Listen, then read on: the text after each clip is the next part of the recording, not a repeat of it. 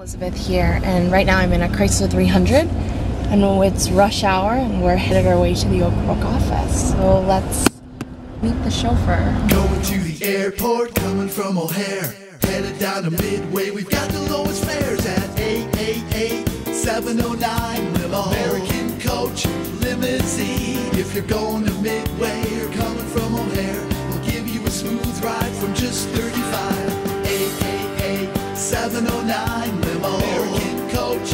Limousine. Just give us a call, we'll be at your door.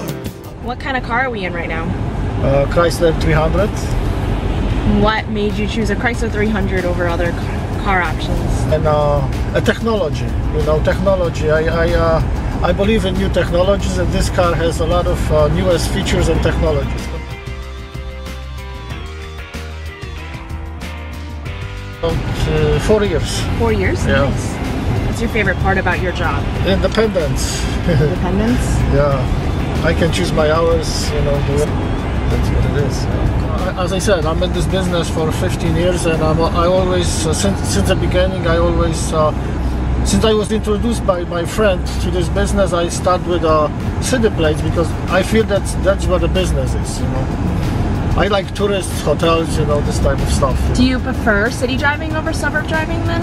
uh, it's it's uh, traffics are tiring, you know, and it's kind of uh, tough. But uh, the, the, the you know the value of the orders are better. That's why I uh, I do it. You know, I see. Very cool.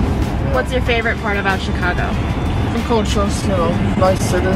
It is a nice city. Yeah. Going to the airport, coming from O'Hare. Headed down to Midway, we've got the lowest fares at 888 709 Limo. American Coach Limousine. If you're going to Midway or coming from O'Hare, we'll give you a smooth ride from just 35. 888 709 Limo. American Coach Limousine. Just give us a call, we'll be at your door. American Coach Limousine.